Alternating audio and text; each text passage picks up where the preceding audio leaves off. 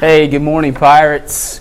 Um, hope you're having a great week. We're closing in on the end of this week, so hey, what a great, uh, great time to be a Missouri, uh, Missourian. Uh, Royals World Series champs.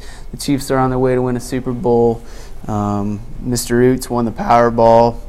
Wait, that didn't happen. But uh, anyway, uh, here's what we're going to talk about today. I got about five, six things, so I'm going to cover them as quickly as I can. First and foremost, we've got activities and, and athletics going on all over the place. Get out there and support your Pirates. Um, the guys are in Kearney tonight. The girls are at home.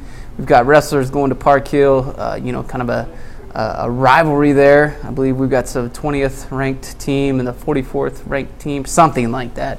I saw it on Twitter. So a couple great teams. Get out there and support them. Um, debates, uh, rocking things, robotics. Uh, we've got chess club meeting tonight. So a lot of things going on. Check your calendars. Ask your sponsors. Ask your coaches. Ask your teachers. Where should I go tonight? Uh, find a place to go. Uh, counseling staff. They're enrolling juniors uh, for this month. Um, second month will be uh, the month of February is going to be sophomores. So uh, your guidance counselor is going to be meeting with you, getting your schedules picked out, and uh, you're going to be helping pick out your schedules.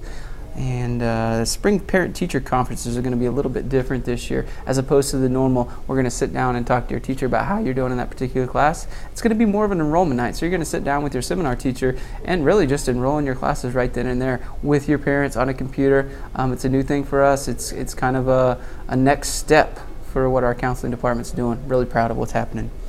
Uh, Jostens is going to be back next Wednesday, so come get your rings, place any orders, pick up things, um, seniors, and, and, all of the Jostin E stuff.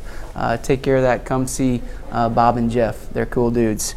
Number six is keeping PC cozy. Our um, count, our, our, our cheer staff is is done an amazing job. What an opportunity for our community to to help out our community. Uh, it's it's been cold, guys. It's been cold outside. So if you don't have if you have jackets that you've got hanging around the house, or sweatshirts, or warm clothing, or scarves, or mittens, or um, gloves, anything that you could help somebody in need, bring them in. There's containers out front toward the Welcome Center. Miss Sutley can point you in the right direction if you don't know where those are at, though. Help somebody out. They adapt an attitude of service. I think that's brilliant. Um, last thing, uh, we'll end with middle school parking.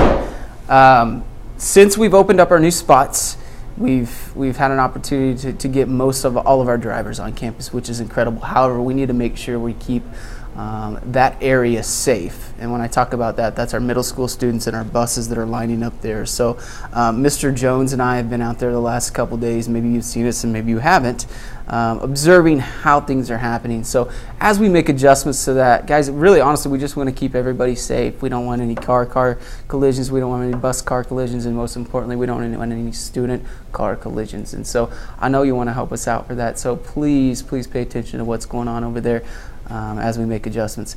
Guys, uh, I can't tell you, every day I wake up, I want to come here and be with you. So um, living the pirate life's a good one. Appreciate what you do. Thanks. Good morning, Pirates, and welcome to PCTV News. I'm Victoria Guerra. And I'm Sydney Edwards. So, Sydney, did you become a billionaire last night? I didn't, and I was feeling lucky last night, so I'm a little upset. Oh, that really sucks. Well, Darn let's it. say you did win. What would you spend your money on? Well, I'd probably buy myself a car first because I thought I was going to get one for Christmas, but never did. So I'd buy myself a car and then I'd probably go shopping. I have no shame. I would go shopping. And then whatever I had left, I'd probably give it to Mal because, you know, she thought she was going to win last night. So oh. I'd give some to her. Good friend. Yeah. Senior boys would be interested in the Senior Boys 2-2 dance, contact Lauren Leocardi, Kennedy Knox, or Mrs. Robbins. There will be yearbook pictures today in the North Gym from 10:30 to 11:30. There will be a cyber safety assembly next week, next Wednesday at 1:50.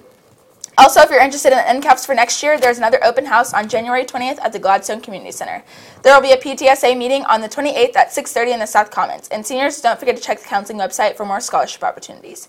Now let's send over to Mal for an update on sports and weather. Thanks, Sid. And Mr. Messick, you were close. We're ranked 29th and Park Hills and ranked 44th in the nation. Also, the girls basketball team plays at home tonight against Raytown South at 7. The boys basketball team lost in double overtime to Northeast Tuesday night in the Kearney tournament 61 to 58. The boys will play today at 3:30 against Kansas City East Christian K- East Christian Academy. The tournament will continue tomorrow. The girls swim team had a meet Tuesday and swim really well. The wrestling team beat Belton in their conference duel Tuesday night 45 to 21. They have a big duel tonight at 6 at Park Hill and they want packed stands, so make sure to go out and show your support. Also, anyone that is planning on trying out for baseball this spring needs to meet in Coach Davenport's room today after school for a short informational meeting. If you are currently participating in a winter sport, just stop by his room by the end of the day. And now for the weather. Today's high is a warmer 56 with some sun, and tonight will drop down to a low of 30. Tomorrow will be cloudy with a high of 32. That's all I have for sports and weather. Back to you, Victoria. Thanks, Mel. There's an NHS meeting for all members today after school in Mr. Jones's room. Donate your newer, gently used, warm clothing items or non perishable food items to keep PC cozy into the bins by the Welcome Center until January 22nd. And remember, if you would like to participate in the Polar Plunge on February 20th to help out with Special Olympics, talk to Miss Puckett or Mr. Perkins. And there's a Poetry Loud reading going on right now in the auditorium, so after you check out PCTV News, go and check it out. Now let's wish happy birthday to the, all those who are celebrating these next few days. Happy birthday to Stephen Goebel, Dion Jackson Griffin, Jace Ewing, Logan Greathouse, Logan Folk, Nolan Solly, and Dalton Huntley. Now it's time for the world news. Today, the nominees for the Oscars will be announced. A lot of people are interested to see if Leonardo DiCaprio will be receiving an Oscar, considering that he has never won. So it'll be interesting to see what happens. Republican presidential candidates will come together tonight for a debate on the Fox Business Channel. Leading contenders are Ted Cruz, Marco Rubio, Ben Carson, Jeb Bush, Chris Christie, John Kasich, and of course, Donald Trump. This is the last debate before the Iowa caucuses.